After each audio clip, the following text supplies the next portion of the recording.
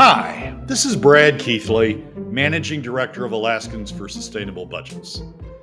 Welcome to the weekly top three, the top three things on our mind here at Alaskans for Sustainable Budgets for the week of July 22nd, 2024.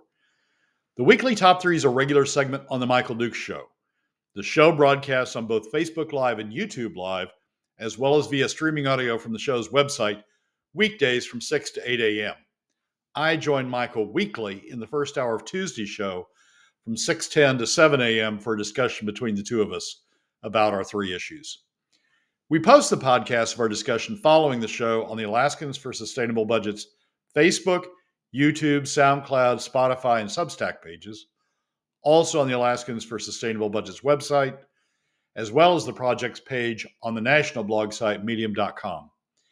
You can find past episodes of the weekly top three also at the same locations. Keep in mind that in addition to these podcasts, during the week, you can also follow and participate in the discussion with us of these and other issues affecting Alaska's fiscal and economic condition by following us on the Alaskans for Sustainable Budgets Facebook page and through our posts on Twitter. This week, our top three issues are these. First, we explain why the term surplus has become another step in the Orwellianization of Alaska budget terms. Second, we discuss what is driving the net outmigration of working Alaska families and why the Alaska anomaly isn't really an anomaly. And third, we ask and answer whether the reappointment of Ethan Schutt to the Permanent Fund Board is a positive, negative, or just another status quo development. And now let's join Michael. Truth Tuesdays is what we got here going on, and we're ready to go. So, Brad, um, I mean, not to beat a dead horse, but some of these things keep coming back to us again and again and again. Uh, we'll start off here in hour one with uh, kind of uh, the Orwellian take uh, on language from uh, AK Fiscal, and and uh, give us give us this the Orwellian Orwellianization is what you said in your email, and I was like, wow, that's a word. I love it. Orwellianization. What do, what do you mean? Hit me with this. What are we talking about here? Well, it's a word that's easier to type than it is to pronounce. Yeah, so, absolutely. As, as, I was type, typing it out, it made sense. Um, so, Alaska, the Alaska fiscal situation has been characterized in a number of situations by changes in language. It's it's if you can't change the law, change the language. And and and and there's been two big uh, uh, changes that have that have occurred that that demonstrate that. We're, we're going through the second right now. The first was in 2017 when they realized they weren't going to be, and by they I mean Natasha and Bert and others, realized they weren't going to be able to change the statute around the PFD. What they did was a sleight of hand. They they they previously had characterized the PFD as designated general funds, uh, DGF, and that was the way in which it had shown up in the fiscal summaries for for decades. But in 2017, realizing they weren't going to be able to change the statute that set aside uh, the PFD. All what they did was change the language and they recharacterized the PFD from designated general funds, which meant it was the, those funds were designated for a, for a specific purpose, set aside for that purpose. The legislature could go grab them. They can go grab any designated general funds, but but they were still they were on the books as set aside for a specific purpose. They recharacterized those as unrestricted general funds, UGF. And all of a sudden, it was, oh, well, we can use those anytime we want for anything we want. They're unrestricted. Those PFD revenues are unrestricted general funds. And, and we'll just you know start applying them across the board. Didn't change the statute, but changed but changed the language around the statute. And what's really interesting is the language that's in the fiscal uh, summaries about defining what designated general funds are is still uh, there re- restricted revenue equals spending for each cat- category. Designated, and this is from the most recent uh, uh, leg- legislative finance fiscal summary. Designated general funds include one, program receipts that are restricted to the program that generates the receipts. And the best example of that is university tuition, tuition paid for by university students. It's jet, it's actually, you know, state money. It's paid to the state, but the state restricts it over to the use by the universities. And two, revenue, this is designated general funds, revenue that is statutorily designated for a specific purpose. That's the de- definition of, of designated general funds. And PFDs, they haven't changed the statute. PFDs still fit that category, still fit that definition of designated general funds, revenue that is statutorily designated for a specific purpose.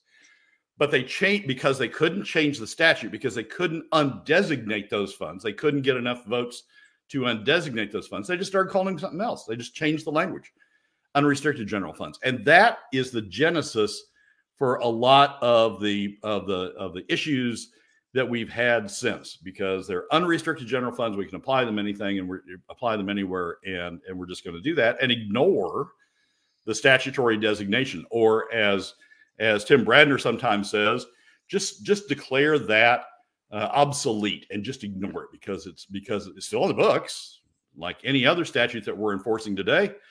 Uh, but it's obsolete because you know no there's there's no longer um, uh, no longer fits the definition or something like that. We're going through the second phase of that, the second step of that right now. So we've got we've got all these funds. We've moved them from designated fund. We've redefined them as no longer meeting designated general funds for some reason, and we call them unrestricted general funds. And so so now we can spend them on anything.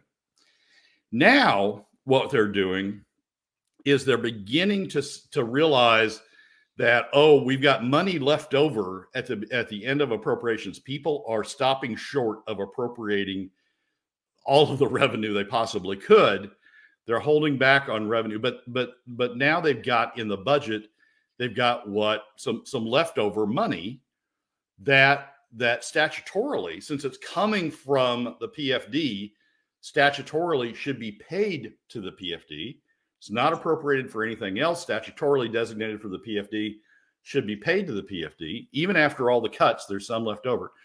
So now they've got some left over. And, and, and in order to avoid addressing the fact that it should be under the statutes and could be under the budget appropriated to the PFD, they're starting to call it surplus. And we've got this new category of surplus funds which is which is our funds that they've taken from the permanent fund dividend. They've moved over from the permanent fund dividend to, to, to the to the general budget, but they haven't yet appropriated. And they're starting to and and so they're starting to cat- categorize them as surplus funds. And you see this legislative finance sent out a note, uh, sent out a newsletter uh, uh, last week that that includes an abbreviated fiscal summary for what's been what's what's in the FY25 budget. And here and here's an interesting pair and here's a paragraph that is that is comparable to the paragraph we saw in 2017 that said all of a sudden uh, uh, PFDs were no longer designated general funds. Based on the spring 2020 forecast, both the FY24 and FY25 budgets are projected to have surpluses 128.8 million and 146.5 million respectively. The FY24 uh, uh, surplus will lapse into the CBR, while any FY25 surplus will be available for appropriation next session. So basically, what we're doing is we're overtaxing, overcutting the PFD now in order to create this this slush fund that that that that we call surplus that will carry from one legis- legislative session to the next and if it's not appropriate in the next legislative session, we'll go into the CBR. We're using excess PFD cuts now to start to start rebuilding the CBR. We've been doing that. We've been doing that all along. When you when you see the CBR uptick, it's really just excess PFD cuts that are showing up in there. But now they're trying to formalize that by creating this category called surplus. And it's also it's showing up in other strange ways. I mean, it's showing up as a rationalization for why the governor shouldn't be cutting things. For example, in an ADN editorial this weekend.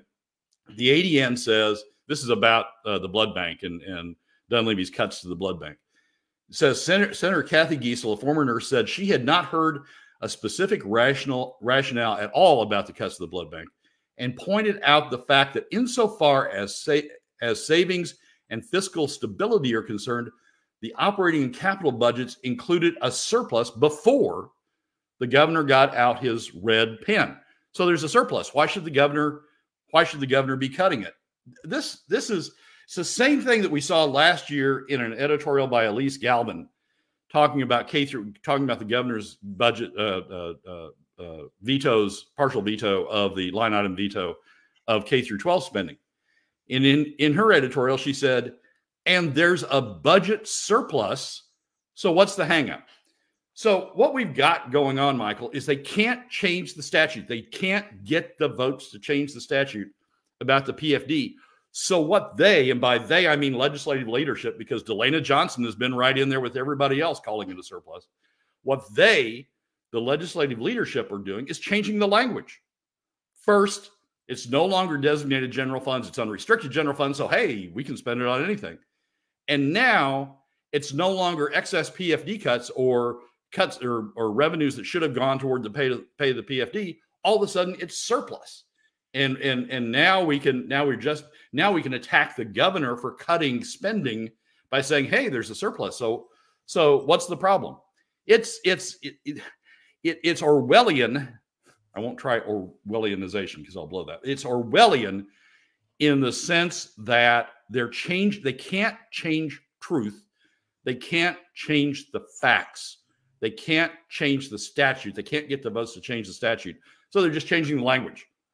Well, it's it's it's kabuki theater, right? I mean, this is fiscal kabuki theater. Basically, they're doing what they're doing and they're looking to for a way to explain it to the average person who may understand the basics of a surplus versus a deficit versus, you know, things like that.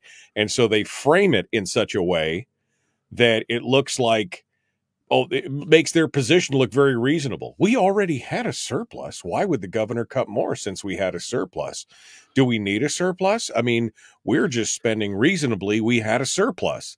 And they keep saying that, but of course nobody ever talks about uh, you know, the the first thing that they pick up at the beginning of the next year is the overspend from the previous year, right? I mean, there's always a uh, a, fiscal uh, I've forgotten the word right off the top of my head here, but you know the by the way, we overspent from last year, so we need to true up last year. So supplemental.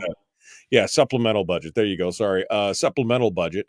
So I mean, you know, it's just another way for them to, like you said, capture the language or explain away and justify what they're doing and making it sound so so reasonable right? They've used this kind of language in the past for different things, not just this time, but this is just another one where it's just so, so, it's like the idea of using designated funds versus dedicated funds because the dedicated funds are prohibited by the Constitution, but we can designate funds all we want.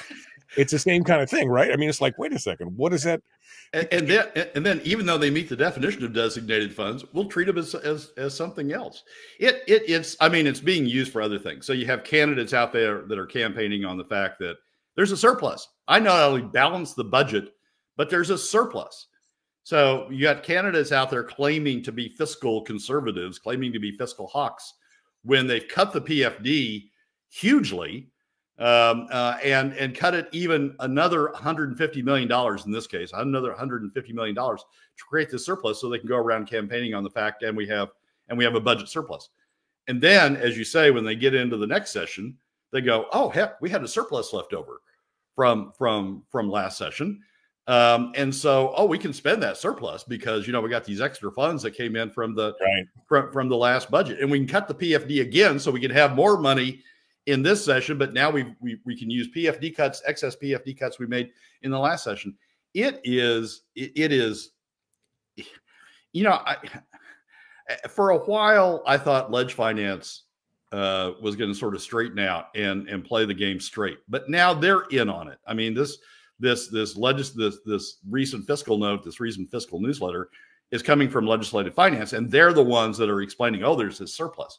Certainly, they're doing it in a Bert's direction, but but there's right. still you know, it's uh, curiouser and curiouser for sure. Uh, it's uh, it's that capturing of the language and again trying to explain away what they're doing and justify it. I just love the the the mental gymnastics you've got to go through to follow this stuff. Can't have dedicated funds, but we've got designated funds. And then when the designated fund part doesn't work out, we just redefine that as something else. And then we throw in new phrases that will confuse you, which we've never used before this idea of a surplus. And now we'll justify everything we're doing by saying well, he's not being reasonable because he's cutting and we already had a surplus.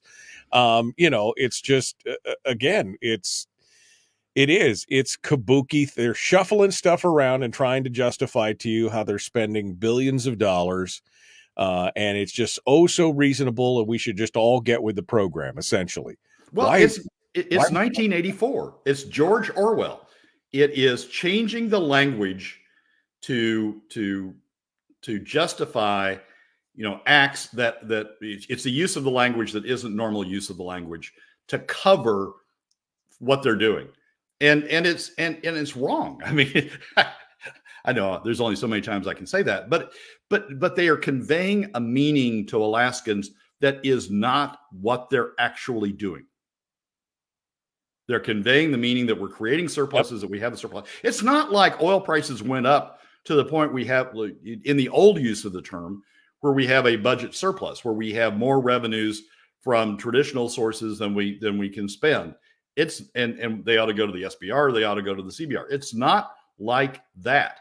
They're creating these additional revenues through deep PFD cuts, through deep cuts in something that's that's designated by by the statute. And then they're just calling it, they're calling that surplus. They're calling, uh, if you think of PFD cuts, uh, as I know Randy doesn't, but if you think of PFD cuts in the way that Matt Berman thinks of them as taxes or as as takes of income, uh, reductions in income from Alaska families, it's excess taxes. What they're doing is taking is making excess taxes taxes to create this surplus uh, uh, for for them to use for them to go campaign on and for them to use in, in in attacking the governor and for them to use in a subsequent budget cycle.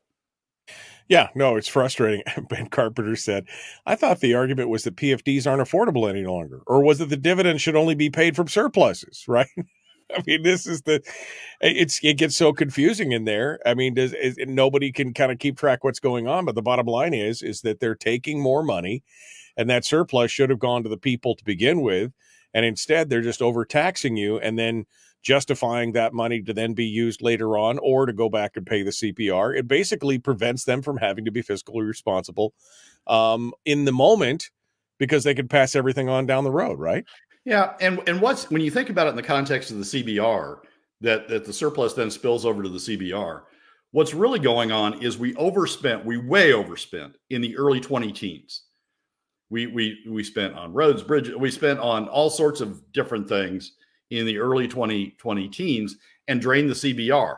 Now they're trying to pay the CBR back, but they don't want to pay it back from all of the Alaskans who benefited from that overspending, probably you know 50% of whom have moved out of state by now. They don't want to pay it back from all of those Alaskans who benefited from the overspending. They want to pay it back from middle and lower income Alaska families through PFD cuts. So the top 20% oil and non-residents dodge again. So it, it's it's it's sort of a it's sort of this this concept of surplus sort of cascades into oh and we get to keep taking more from middle and lower income Alaska families, and we get to keep taking more from middle, and we get to overtax them more. It's just it, it's capturing, it's using the language in a way that is not the common, ordinary, understood meaning of the terms.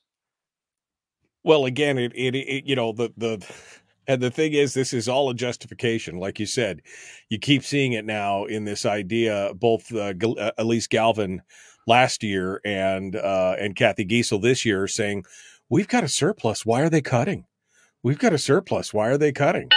Uh, but it's a fictitious surplus that's basically been ginned up on the backs of Alaskan people, and that's why they're cutting, and uh, and that's why some of these cuts are occurring. But again, it makes them sound oh so reasonable.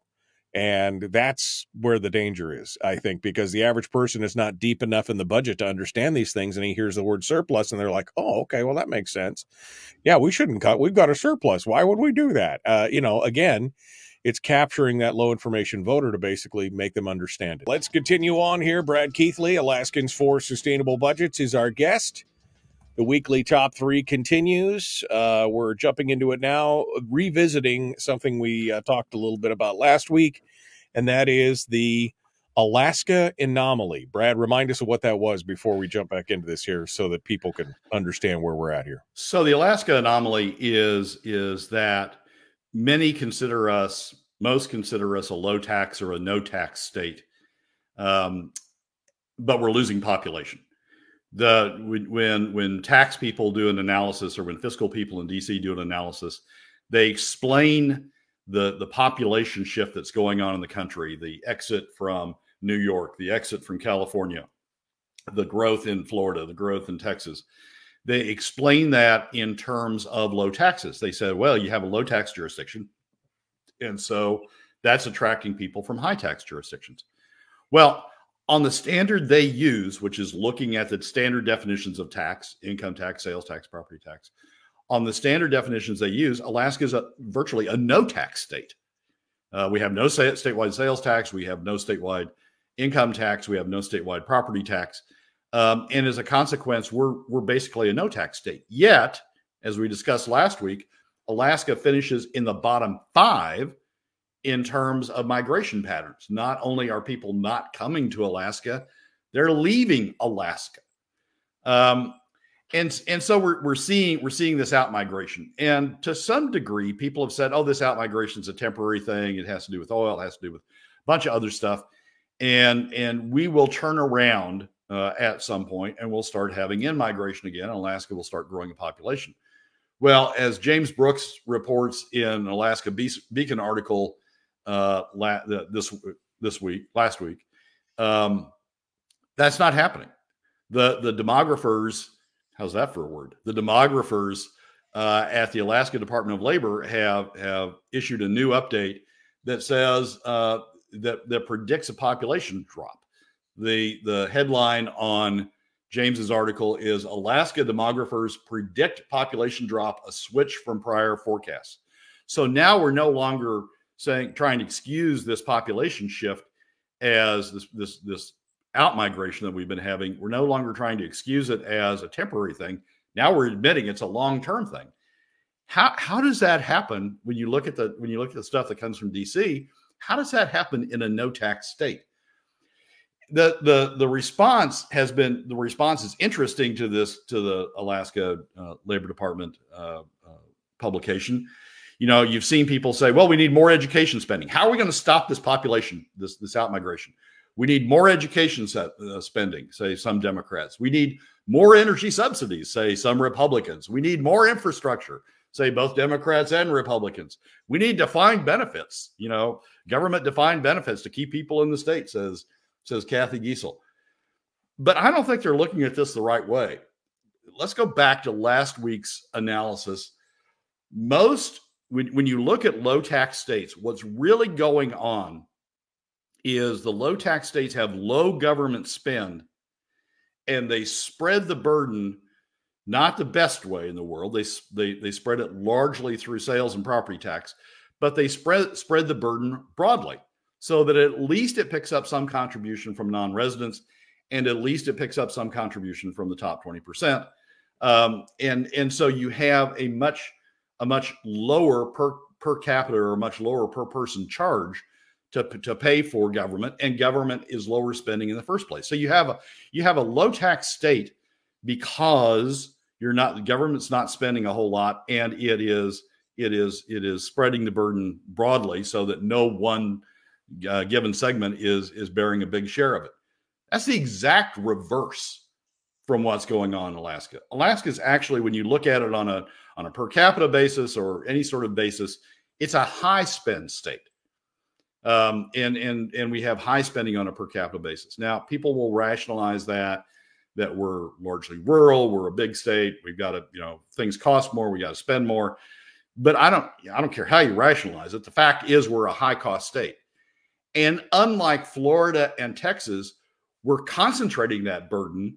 We're not spreading it across across all the population to, and including non-residents, by having a broad-based broad-based revenue source to cover that spending. We're concentrating it on middle and lower income Alaska families through PFD cuts. We're concentrating the burden on middle and lower income Alaska on, on, on the middle, those in the middle and lower income brackets, unlike the low tax states. So Alaska is doing the reverse. And guess what's happening as a result? We're losing people.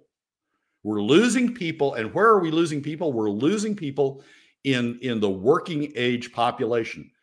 The the the the those that are 60 and older, the, that segment of Alaska is actually increasing. Population's actually increasing when you measure it by the number of in, income tax returns filed. It's it's that population is actually increasing.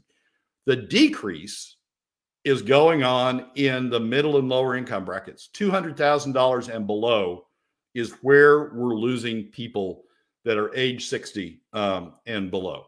So we the Alaska anomaly is we have a we have what people think is a low tax state and and but we're still losing people but if you if you think through it we're losing people because we're actually a high cost high tax state we are from the perspective of middle and lower income alaska families we are the equivalent of california or new york because we're putting the entire fiscal burden on them. It shouldn't be any surprise that we're losing people. It shouldn't be any surprise that we're going to continue to lose people that we're going to continue on this downward spiral.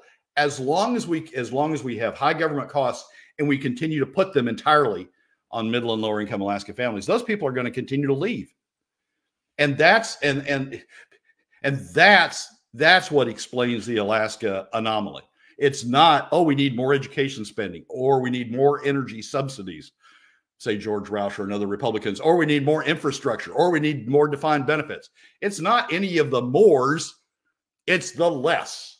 Right. And it's the spread the burden broadly as opposed to concentrating it on middle and lower income Alaska families. And this is again part of the problem of why it's driving it out. Uh, Donna said uh, earlier, Donna Arduin said her firm uh, shows the absolute correlation between uh, taxes and outmigration. Alaska is recognized as a high tax state. Wait until you add an income tax or something else, and then that exodus will actually speed up. We talked about that previously. It's like the doom loop, right? I mean, once you reach that point of, and that's what like California and New York, that's what they're experiencing at this point. And Alaska, if the spending continues without any you know capping or anything else this is what we're going to see here is a continual out migration that will actually increase. But we're already seeing it michael and we're see- and we and, and we don't have i mean those people who understand what pfd cuts are do see it as a high tax state.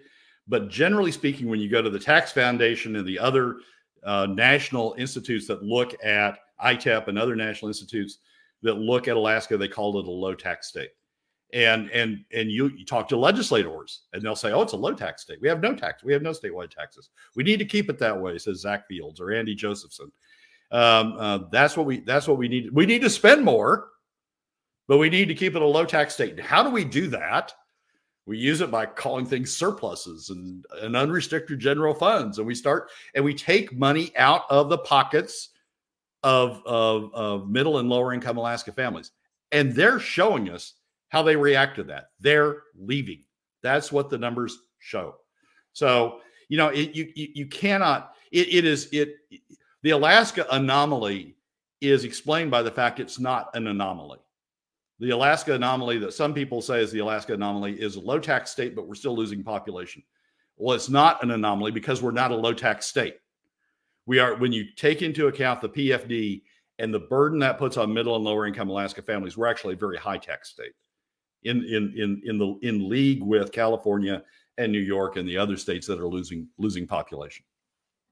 Brad Keithley, Alaskans for Sustainable Budgets. So, Brad, how do we overcome this? I mean, because again, now they're this James Brooks article talks about now they're no longer looking at these rosy forecasts. They're saying that by 2050, we'll have, uh, you know, another 30,000 or so uh, fewer residents than we did uh, that we you know that we do today and it's just going to continue that out. Migration is going to continue. So what what's it take to tip the tip the balance back the other way?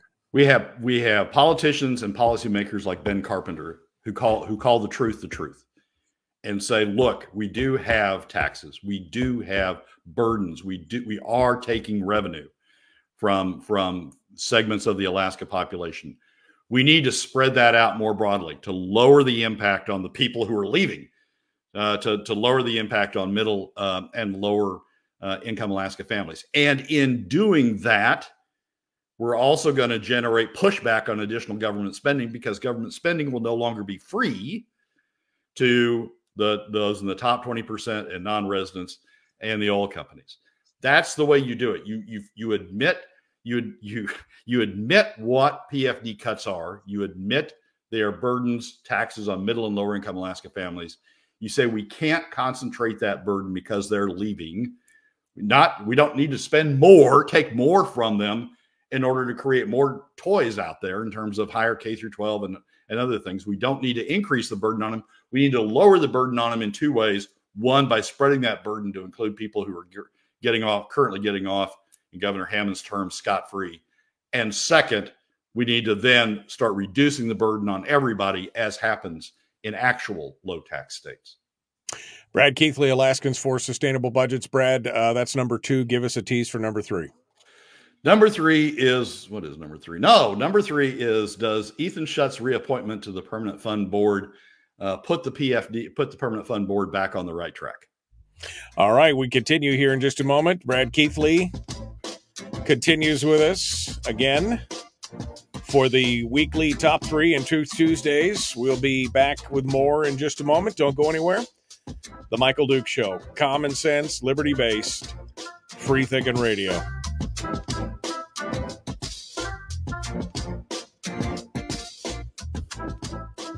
If you missed the show, you can listen to it on your time with Dukes on Demand.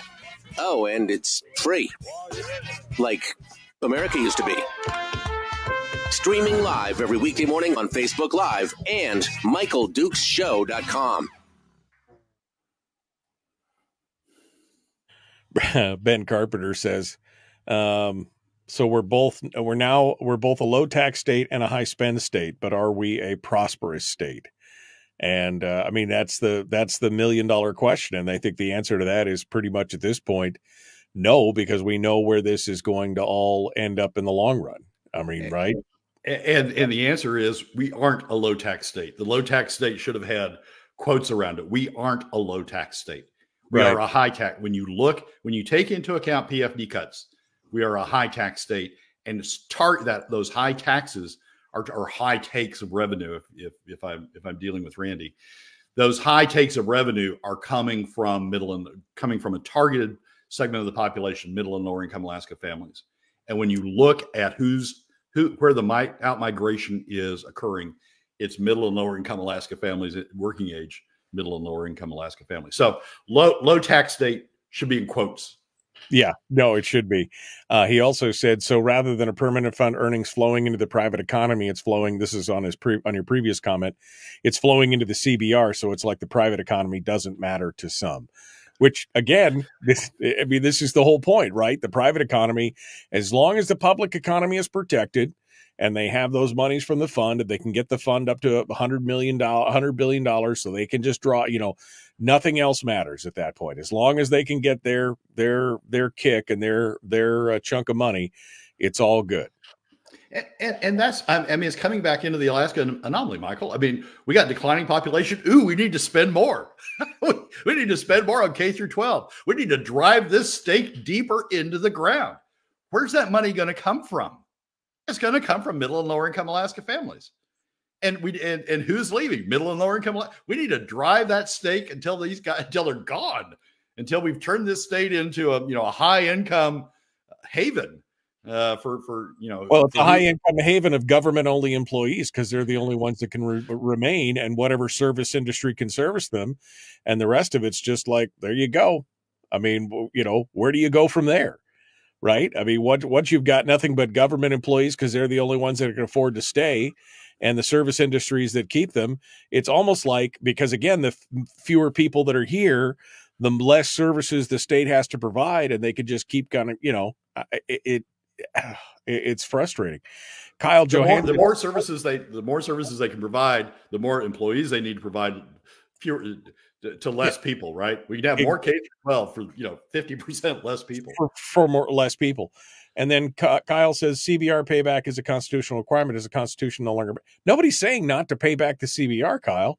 But that again, that's a whole other kettle of fish. Where is the rest of that money going to come from? I mean, we owe it what I think seven billion or eight billion dollars at this point. It's supposed to have a ten billion dollar balance, and I mean, nobody said not to pay it. But I mean, it, this is not a this is not a dig at not putting money in the CBR. This is kind of this fictitious shell game that they're playing with the finances to show, oh, well, if, if we don't use it, it'll go into the CBR. I, have been one of the biggest advocates, and Kyle knows this. I've been one of the biggest advocates of paying back the CBR. I've written article after article, commentary after commentary about the need to pay back the CBR. But we need to pay back the CBR from the people who benefited from the from the from the top 20%, from the non-residents, from all those people who got the benefits of taking down the CBR in the early 20 uh, 20 teens. And and what we're doing with this surplus is we're paying it, sneakily we're paying back the CBR from middle and lower income Alaska families through deeper PFD cuts, excess PFD cuts. And I, yeah, I absolutely we need to pay back the CBR, but we need to pay back, pay it back from the people who benefited, or at least the since 50% of those people are gone from the early 20 teens because of the outmigration, we need to pay it back at least from um, at least from the same income brackets that got the benefits uh, of of that of that massive spending that occurred in the in the early 20 teens. I'm I, Kyle and I have these half arguments. It's yes, absolutely, we need to pay back the CBR, but we need to, but it's who we need to pay back the CBR from. Well, Who needs be. to contribute to that process? That's the issue. Right. It's a broad thing. You can't just continue to hang the burden on the lower income, you know, the lower 80%. Middle, middle yeah. and lower income. Yeah. I mean, well, you, you, just you just can't keep hanging the, the bill on them and then expect it's all going to be, uh, you know, uh, gr- gravy. Everybody's got to pay to pay that back. We all quote unquote benefited from it, uh, so we should all have to pay it back together, I guess, uh, which is the more frustrating thing. Um, all right, let's see. Um, Gary says, this is beating a dead horse by saying taking the PFD is a tax on middle and lower income families. Everybody here already agrees. Saying this here week after week goes nowhere. But the thing is, we may agree with it, but you know, not everybody else is understanding that. That's the problem. Here on the program, we may understand that, you know, deeply and and and agree with it. But the problem is, not everybody is in agreement with that. No, not, a lot of a lot of mainstream people, you know, just regular folks who are not paying attention to this, they don't know that, Gary. That's the problem. Um, and that's why I think Brad keeps repeating it over and over and over again. All right, Brad Keithley, Alaskans for Sustainable Budgets, is uh, our guest. We continue with a weekly top three on this Truth Tuesday. The final one is the discussion on the Permanent Fund Board. This has been a topic on and off for weeks here on the program with all the different furor that's going on over the the permanent fund and and uh, you know unethical behavior and ignoring the the the legislature and all the other things that are going on. But don't worry, the governor is now reappointed. Uh, uh, Schutt back to the uh, thing. Is this a is this a good thing or a bad thing, Brad? Uh, wh- where are we at? So we so one of the things that in the leaked emails uh, from from the permanent fund staff was an email that said that Ellie Rubenstein, who's vice chair of the board, currently the vice chair of the board, Ellie Rubenstein had said that uh, the staff should know that, that the governor won't be reappointing Ethan Schutt, who was the who was the chairman of the board. And and since Ellie's the vice chairman of the board, uh, one would think that she said that in order to give them some indication that she was likely to ascend to chair, that Ethan wasn't going to be reappointed, that and that she was going to have more complete control of the board than she had uh, even at that point. So, you know, go talk to my go talk to the people I want you to talk to was was sort of the sort of the rollout uh, of that string of uh, that string of emails. Ethan's term, Ethan has been chair of the of the permanent fund board Ethan's term expired on June 30th. Uh, and unlike other state agencies uh, or state positions, you don't carry over uh, a, a person, a, board member on the permanent fund board doesn't carry over past the end of the term uh, until his successor is appointed. The end of his term means the end of the person's term, means the end of the person's term. When we got to June 30th, the governor hadn't, appoint, hadn't appointed anybody. He hadn't reappointed Ethan. He hadn't appointed anybody else to take that seat. And so Ellie, as vice chair, all of a sudden became acting chair because because she was the vice chair. And there was a lot of speculation about what the heck the administration was was was doing now. Were they going to try to leave that seat vacant in order so Ellie could just you know automatically roll up to chair? Uh, that didn't seem like a good idea after all of the after all the chaos that she caused earlier in the year. Uh, but but what were they going to do? Last week, the governor finally acted and reappointed without any discussion, without any explanation, posted on the on the on the state website that Ethan had been reappointed uh, as as a as a director of the of the permanent fund board. Um, and that doesn't mean he's chairman. The governor doesn't name the chairman. The permanent fund board members elect the chairman, but at least that part of Ellie's uh, predictions uh, didn't come to pass, and the governor reappointed. Now the question is, okay, does that mean we're does that mean the permanent fund board is now back on an even keel? We can stop worrying about it. All's right with the world, and everything everything is going to be hunky dory from here on in. No, it doesn't mean that at all. Uh, first, uh, it's not automatic that Ethan continues as chairman. Plus, Ethan's been uh, is has been outvoted. He and Craig Richards have been outvoted four to two uh, on a number of recent initiatives, with Ellie leading the uh, the four against Ethan's two. So just because he's back on the board, a doesn't mean he's chairman, and what with whatever power that has, and b it do, it doesn't mean that, that that the votes are going to go any different because the four, Ellie and uh, and the three commissioners, uh, well, two commissioners appointed by Dunleavy plus Jason Brune uh, it doesn't mean that they're going to change uh, their their voting pattern. So it, it it doesn't mean that. What it what it means is it didn't get worse. He didn't appoint another sycophant. Sycophant. There we go. There's an N in there. Sycophant. He didn't appoint another sycophant on the board uh, to to go along with Ellie. That Ethan has stood up to Ellie in the past, and and presumably may continue to do so and he and the governor didn't appoint another sycophant on the board that would just vote with Ellie and make these into five one votes as opposed to as opposed to four two votes. So in some sense, it sort of stops the bleeding where it was. We're still bleeding, but but we're not bleeding further. But I would argue it also passes up an opportunity actually to make the board better. As we've talked about, as we've talked about on the show before, in other jurisdictions, the requirement for a board member in like Texas, Texas has two permanent funds.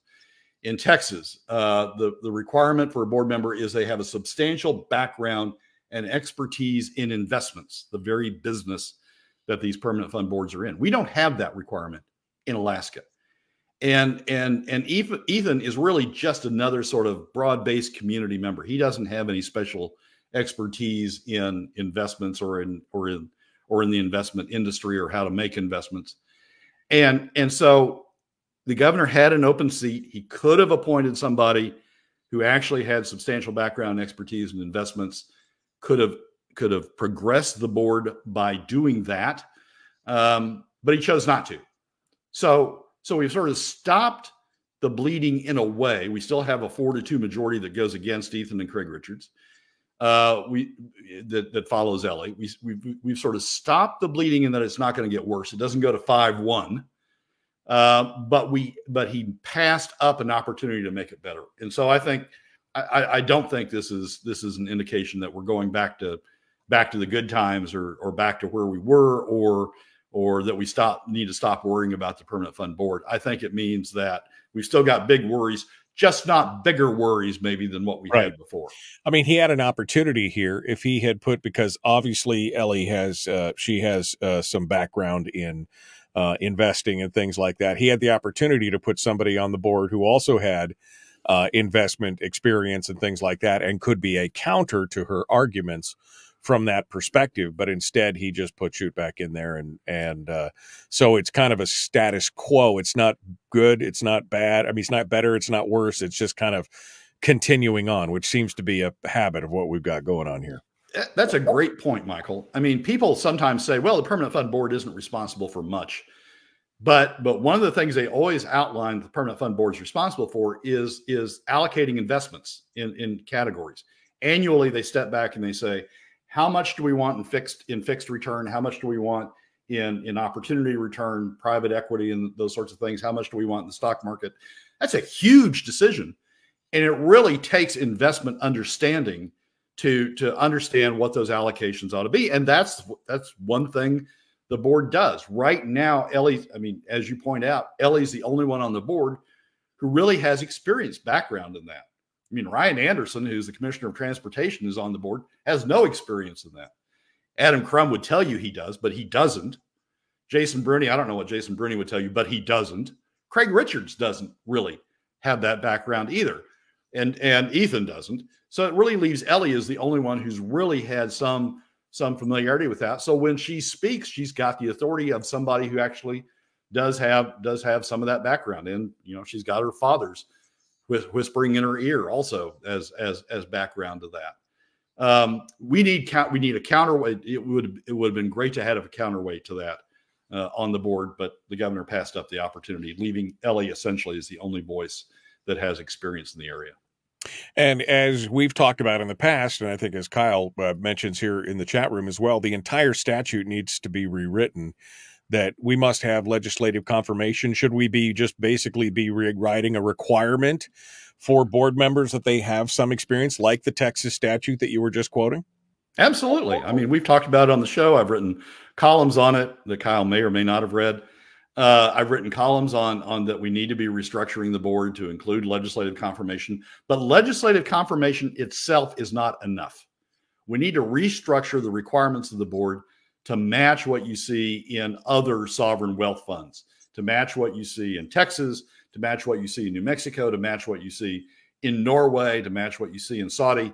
We need to rewrite the requirements so that the members have substantial uh, experience and, and, knowledge about about investments, about the very thing that, that that's going on. Maybe one or two members uh, uh, from the community to sort of add a community gloss on that. Um, a, a, a, test, a community test, would be useful. But we need people on there who really understand the in, investment community and are good supervisors right. of those who are making these these decisions. So yes, we need to rewrite, rewrite the statute. We need to restructure the board to include legislative confirmation, but that's not enough. We need to re- rewrite the requirements as well. We definitely need a counterweight for what Ellie's doing. I mean, I think that is, uh, I, I think, you know, I think that's important. You know, like hire professionals. Perish the thought that we should hire professionals in this uh, in that industry or in that business who understand it. Ben just kind of highlights what I was just saying there at the end. Recent reallocation towards more private equity investment means increased risk that fund income will be inadequate to meet earnings draws in the future, all in an effort to grow the fund to $100 billion as soon as possible. Slow and steady wins the race was the was really the the theme of the permanent fund for decades. And now it's like, oh, we need to get that $100 billion mark. So how do we do it quickly? even though there's a higher risk factor involved and everything else. Because again, that is the ultimate goal, right? A hundred billion dollars means they can ignore everything else in the state just to spin off what they need. You know, Michael, I, I'm I've started to, to wonder if that's really the goal. I mean, the hundred billion they're explaining the hundred billion dollars in a way that that is part of the piece of the rationalization for unifying the earnings reserve and the and the permanent fund corpus. It's it's being used as oh, we need to unify the two together because that'll enable us. That's part of what will enable us to grow it to 100 billion dollars, and that'll you know enable the top 20 percent to live rent free forever and ever, and the oil companies and, and the non-residents to, to live rent free forever and ever. That's part of the rationalization. But really, what what the whole unification of in in what I'm increasingly understanding is the unification of the earnings reserve and the permanent fund corpus is really just to provide access to the permanent fund corpus so that when we get to the end of of the of permanent fund dividend cuts, you know, most people say, well, we're going to go to taxes, or when when we run out of the permanent fund dividend, most people say we're going to go to taxes. If you unify the earnings reserve and the permanent fund corpus, what you've really set up is you can just kick over and start drawing down the corpus. because you've set up a, a you, you, you, there's not a stop there. You don't run out of the earnings at some the earnings reserve at some point and have to stop drawing. You can just keep drawing and drawing and drawing and drawing once you once you make that unification. So I'm I'm curious whether the hundred billion I, am I'm I'm increasingly skeptical whether the hundred billion is is an objective in and of it itself, or it's just an excuse to do the unification of the two funds and and set up the ability to draw down the permanent fund corpus as a way of continuing to avoid taxes going on into the future. That's an interesting take because, and that would actually play into their modus operandi of not having a long term fiscal plan as long as they get theirs while they're here and it's in their lifetime or in their, you know, then they can retire and move away or whatever else. They don't care. I mean, if they draw down the permanent fund, then and they don't have to pay the consequences down the road and they could still be the heroes for avoiding taxes right because now they could say well we don't want taxes we'll just overdraw the permanent fund uh, until it, you know, until they draw that down to nothing. Um, I mean, you could be right. It, you, I mean, I could be wrong where I said I think there's going to be taxes, you know, discussion on taxes in three years. You're right. Maybe they avoid that whole discussion. And with all the Republicans who are like, I'd rather have no permanent fund than taxes. Um, the thing is, then they don't know that we're eating our seed corn, and what it'll do is create an even bigger problem down the road. And and what we'll do is we'll create a new word, just like we just like the permanent fund dividends are no longer designated. All of a sudden, by magic, they're unrestricted, and just like uh, just like you know, excess permanent fund dividend cuts, excess PFD cuts are now surplus. We'll create a, they'll create a new word to to to to Orwellianize the drawdown of the permanent fund corpus. I, I think I think the real driver, in all honesty, the more I think about this, the more time I spend with these issues the more I understand the motivations, think about the motivations of the various actors in this. I think the real driver at the end of the day is is for the top 20%, the oil industry and non in the non-resident industries, tourism, fishing, to avoid taxes at all costs. And that explains why we drain the CBR or the SBR. That explains then why we've drained the CBR. That explains why we're draining permanent fund dividends. And I don't think it stops when we get to the end of permanent fund dividends. I think the unification, I think, I think the key, the key to understanding Alaska's future is this whole debate about the unification of the earnings reserve and the permanent fund corpus. And I think if they, in, in all of the arguments, are really around trying to get those two unified. So once they're unified, then you can draw down the permanent fund corpus. Then you've set up the ability to draw down the per, permanent fund corpus. And I think, you know, Bert's movement of $8 billion out of the earnings reserve over to the, the permanent fund corpus so we could claim there's an earnings reserve crisis uh, out there. I think that was part of it. Uh, I think the $100 billion, frankly, is, is probably part of it. It's all to set up a situation where the top 20%, this generation's top 20%, and the next generation's top 20%, the oil companies and the non resident industries never have to contribute. It's all taken off the backs of middle and lower income Alaska families. I mean, that's it's spooky, but um, I again I have often said and been saying for 25 years on this program that the main goal is to get to the corpus. That the corpus is the piggy bank that they cannot help but look at adoringly and say, "This is what we really need. Is we really need to get our hands on that."